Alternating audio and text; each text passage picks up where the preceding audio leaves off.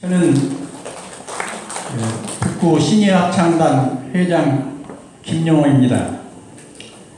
에, 저희 합창단은 이 널리 알려진 바와 같이 에, 시니어 혼성 시니어 합창단으로는 전국에서 두 번째로 창단되어 어, 그동안 지난 5월에 에, 여덟 번째의 정기 연주회를 갖고 어, 그 뒤로 더불어 어려운 이웃을, 이웃을 방문하는 위문 공연, 어, 지역 축제의 한마당 초청 공연, 합창 페스티벌, 그리고 공연대 참가 등으로 우리 활동폭을 넓혀오면서 기량을 축적해 왔습니다.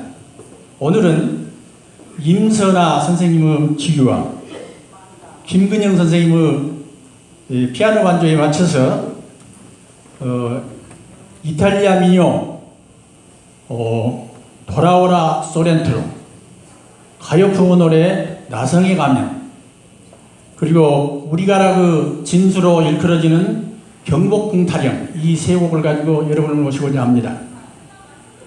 우리 저희들의 합창이 오늘 이 자리에 모이신 여러 어르신들에게 요새 이 극성을 아직도 극성을 부리고 있는 이 지긋지긋한 여름 더운 날씨를 시원하게 식혀줄 수 있는 한 줄기의 소낙비 같은 그런 역할이 되었으면 하는 심정입니다.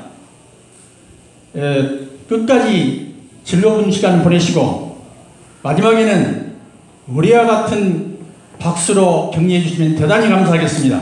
감사합니다.